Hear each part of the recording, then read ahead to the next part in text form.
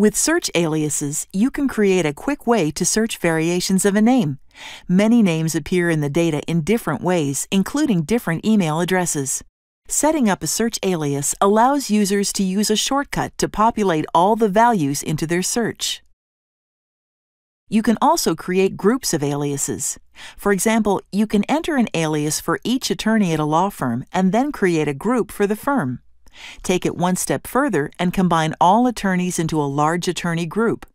By setting up aliases, you are creating shortcuts, which will save you and other users a lot of time when creating search queries. We'll start by creating the search aliases and then put the aliases into a group. In order to use this module, you need permissions to Use Admin Search Aliases and Use Admin.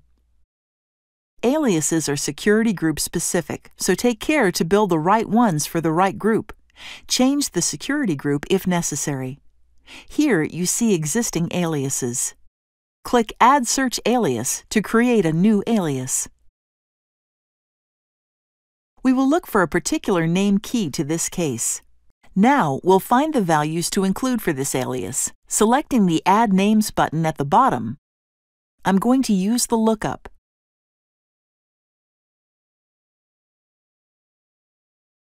You can use the begins or fuzzy radio buttons to find the name. We recommend fuzzy so that you catch all the names that appear anywhere in the value. I could choose values individually, or I can click Add All to Right. If I change my mind about a value, I can just remove it. Now click Add to apply the values to the search alias. I can go back and look for more names or add them through the other tabs. Now that I have my search alias set up, I can add this alias to a group by clicking the Edit Groups button. If the appropriate group is not available, enter a new group and select Add Group.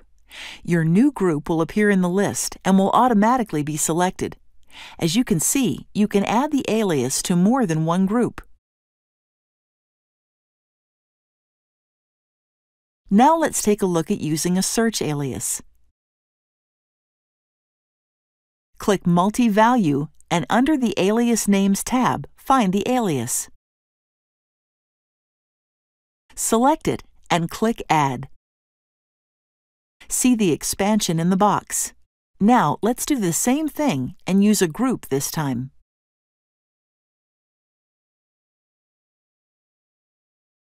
The group expands in the search box, and I can edit names as I see fit within the box.